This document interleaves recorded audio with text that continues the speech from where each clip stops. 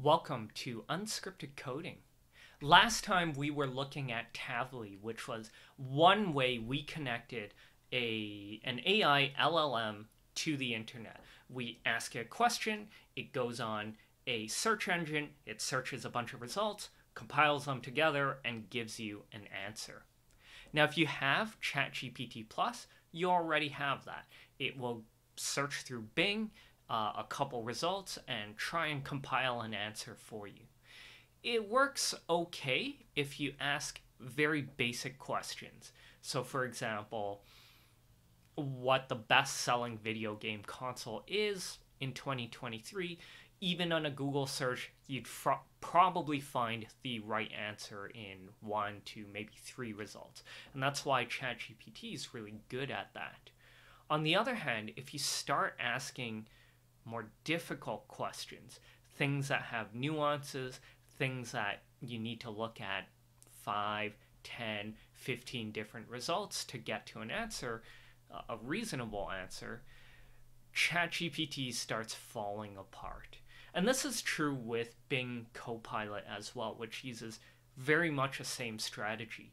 You ask it a question, it turns it into a good web search, and then it looks at five, maybe 10 different results before telling you what it thinks.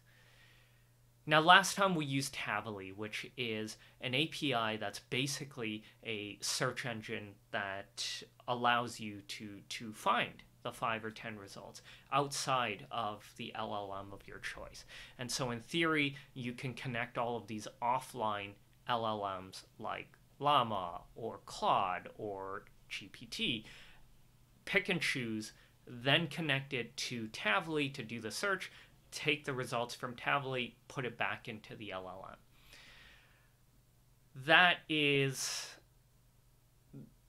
okay. Uh, it actually worked pretty decently, but uh, it's a lot of steps and it's actually quite hard and difficult to build up. So I started looking at other search engines that would be good for my use case.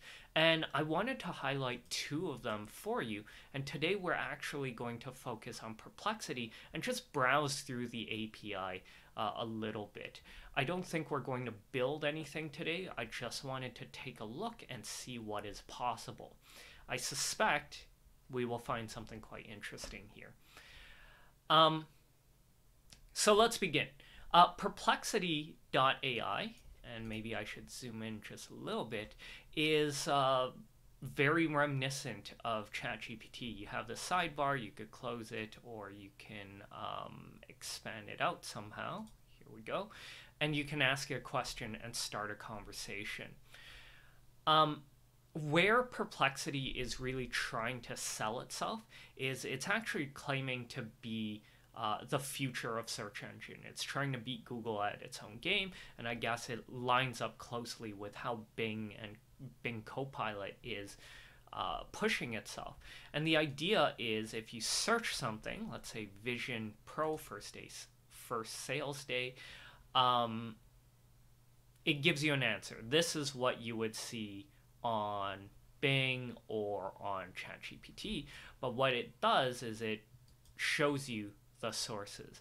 If you turn on Copilot, it's going to let you continue that conversation, ask it more questions about those sources, or um, or list more sources.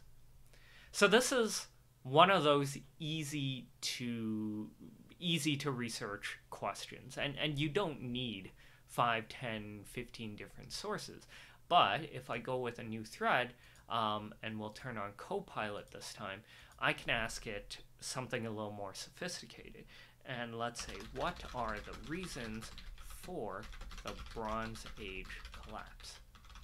Something a little more academic. Um, for context, uh, as far as I know, there's no clear single answer and there's a lot of debate. This is a good one where to do it to do research properly, you should be looking at different perspectives from different sources.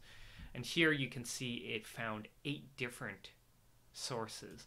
Uh, Wikipedia is fine, in my opinion, as a source.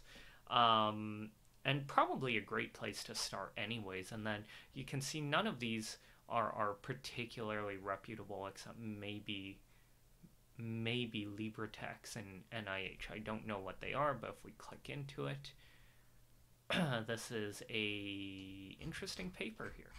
Um, a whole academic paper, so very good as a source. And so you're going to see uh, no single cause.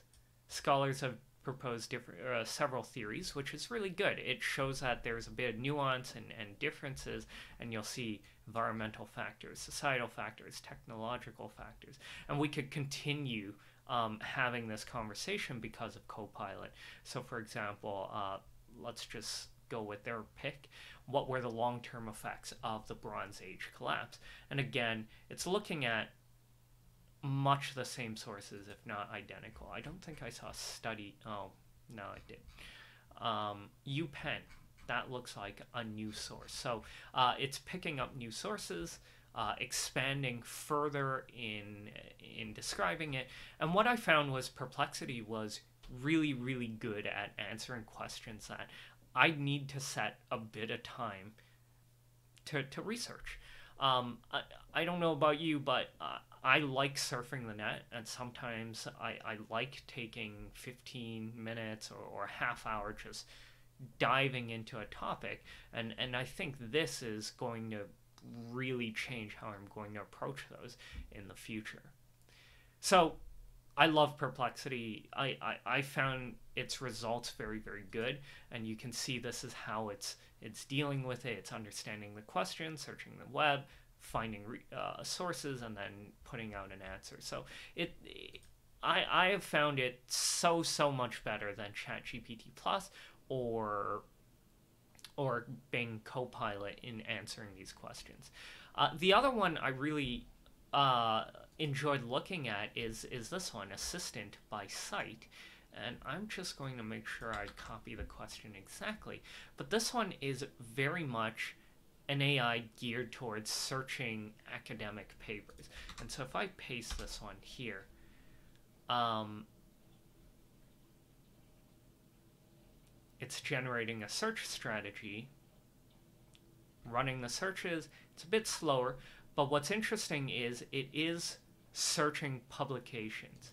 And you're going to see these are, you know, classic biblio- bibliography style no, citations, and this is a much more uh, academic type of answer, citing papers, uh, only only um, citing papers and only using papers. It has a reference. Uh, it's written in a way where it is mentioning which papers it comes from. And I don't know if you saw, but in the steps, it even had a little bit at the end to fact check itself. So it's really trying to counter that hallucination piece. Uh, again, all of these, fair warning, you don't want to use them without human oversight but I found this interesting, and and there are others that search uh, just popular websites, um, different sources. But I thought Scite was would have been really useful if I was still in school to start that academic research step. So um, I'm not going to read this. This one looks a bit more painful to read through.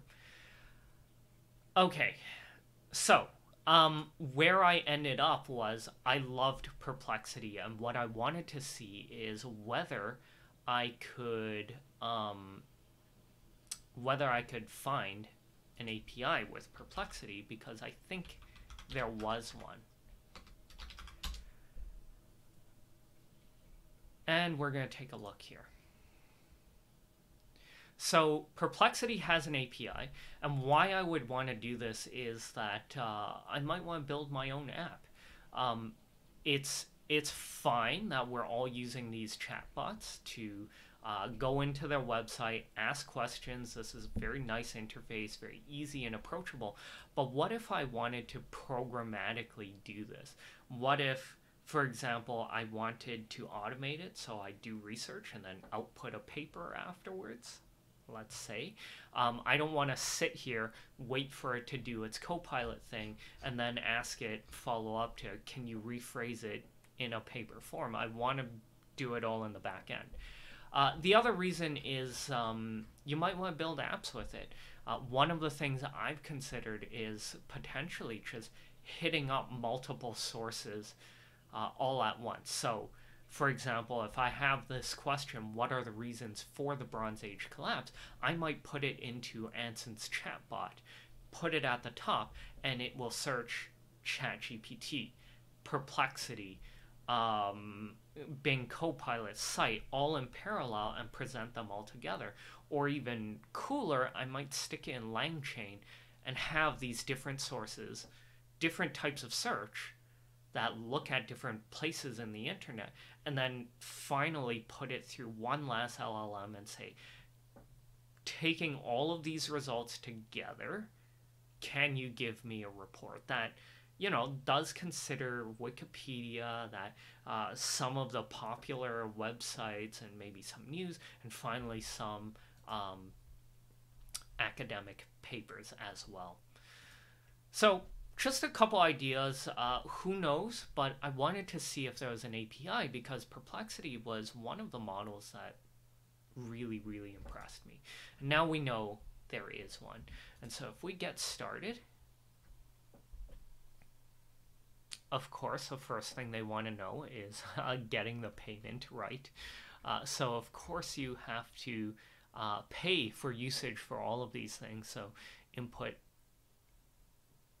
um, input your your payment features. Um, hmm. Stonework. Okay. That. Uh, okay. Here we go. API reference. And so this is where I think we're going to see the most interesting stuff. Um, we can click try it.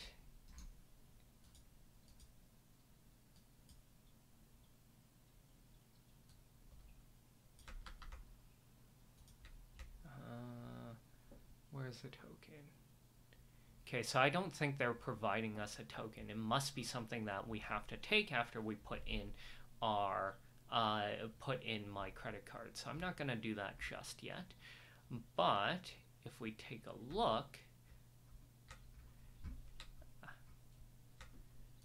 we can see that there's really just the one API call. So there's not a lot of options here. And if we go down here, you're going to see this is a call. Uh, this if you look at this, um, this will look very familiar to any chat or GPT API users. You pick a model, you have the messages. And what's interesting is there's a bunch of different models here. Um, Llama 2, Code Llama, uh, these ones are from Meta, and Mistral and Mixtral is from a company in France, I think France and these are open source models. I suspect what we need to do is the perplexity models down here. And I think what we're looking for must be the 70 billion parameter. Obviously, larger is better, but the online model so that it is able to ask and, and um, um, reach online Okay, and then we just have your messages, we have max token, temperature, top P. These are all super standard. This is where I think we're going to have a nasty surprise. Well, that's not super helpful. Um,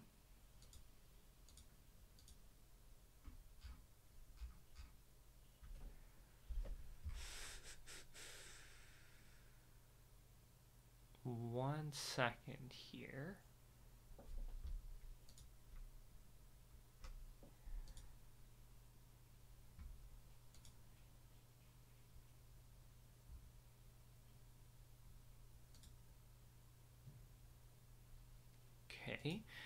Um, so what I'm noticing immediately is that uh, the output has a message, content, and role.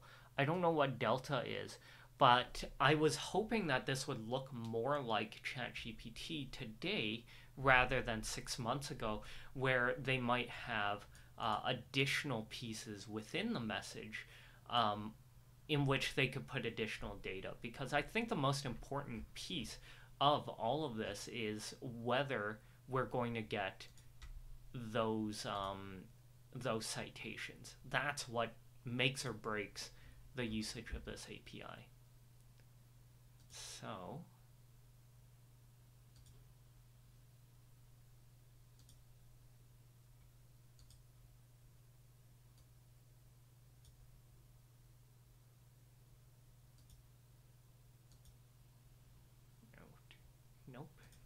that. VQs.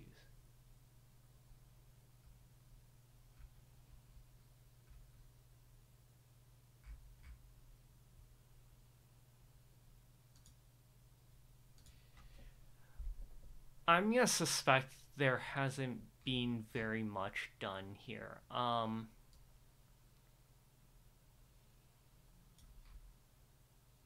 updated 11 days ago.